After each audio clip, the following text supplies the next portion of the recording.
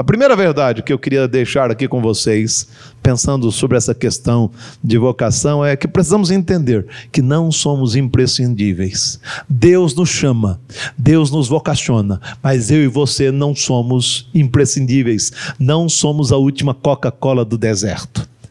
A gente precisa ter isso em mente. Lendo esse parágrafo, descobrimos que diante do apelo de Mordecai, a rainha Esther recuou. Ela disse o seguinte: meu primo, eu estou de mãos atadas, porque nos últimos dias o rei não me chamou à sua presença.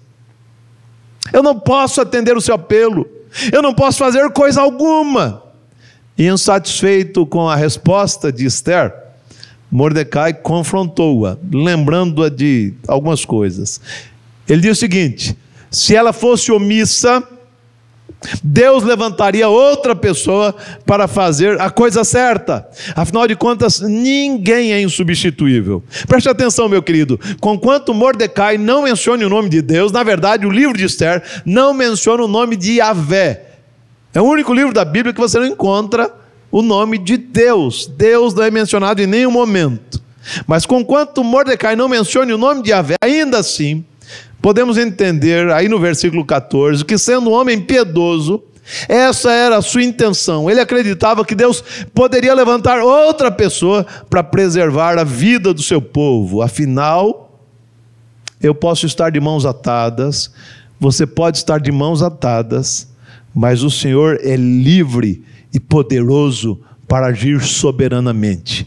E a gente não pode esquecer disso. Nós somos chamados mas mesmo que a gente se senta com mãos atadas e de mãos atadas, e mesmo que queiramos nos omitir por covardia, Deus pode levantar outro para fazer a obra segundo o seu eterno propósito, porque Ele não está de mãos atadas, Ele é um Deus livre, Ele é um Deus soberano, é o Todo-Poderoso que age quando quer, como quer, e usa quem quer segundo o seu eterno propósito.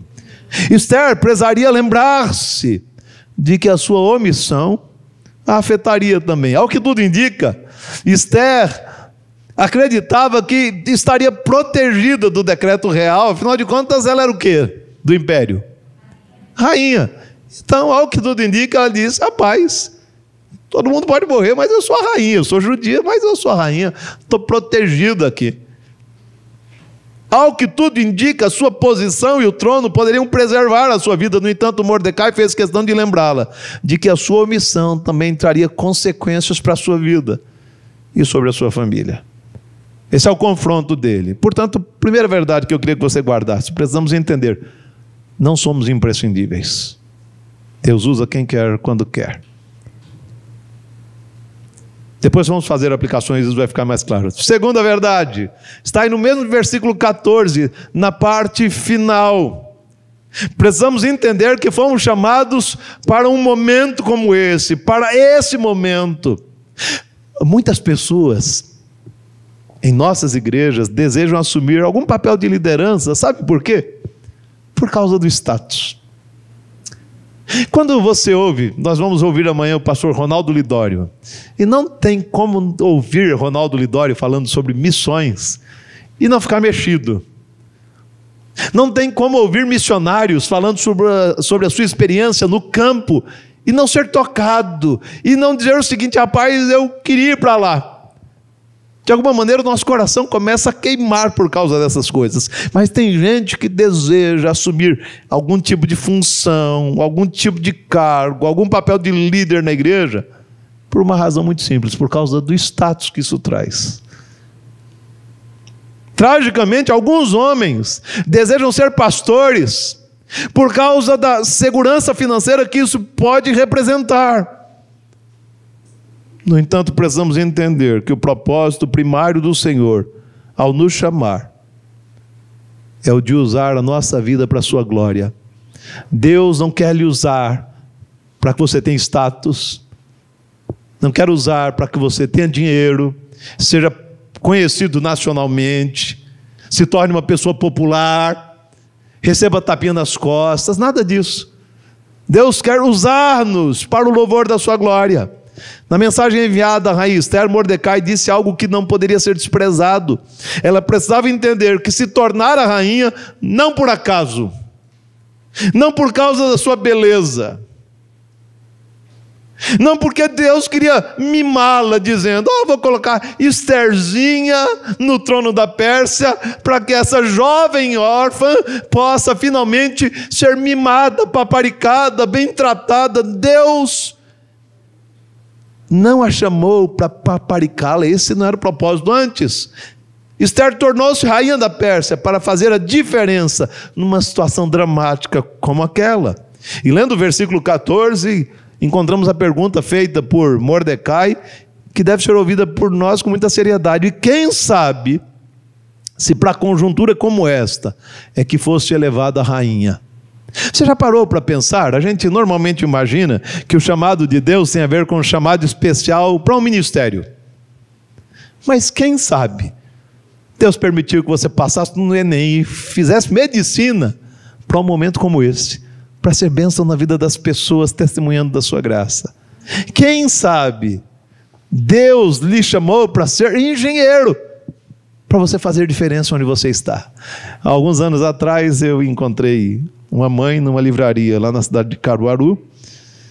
Ela me conhecia de uma cidade onde eu pastoreei.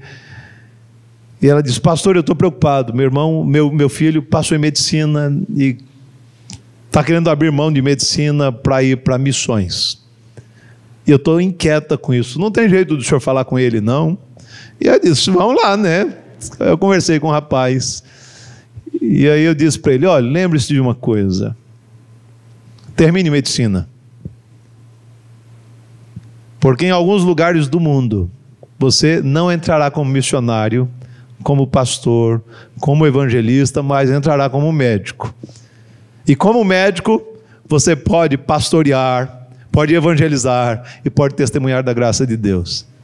Pasmem, ele me ouviu. Terminou a medicina e hoje tem servido ao Senhor e ele ficou surpreso.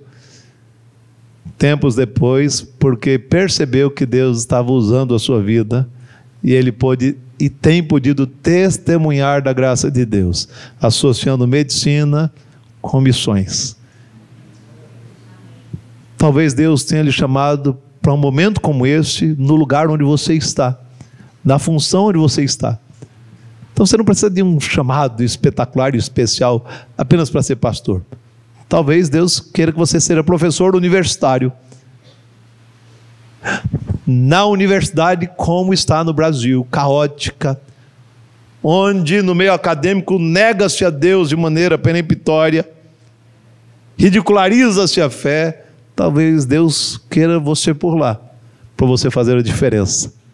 Com testemunho santo, uma vida irrepreensível, uma vida reta, santa, para o louvor da sua glória. E quem sabe, se para conjuntura como esta é que fosse elevada a rainha, as palavras de Mordecai dirigidas à rainha Esther devem servir de lembrete para todos nós, de que Deus nos colocou no lugar onde estamos, um lugar estratégico, porque Ele deseja usar a nossa vida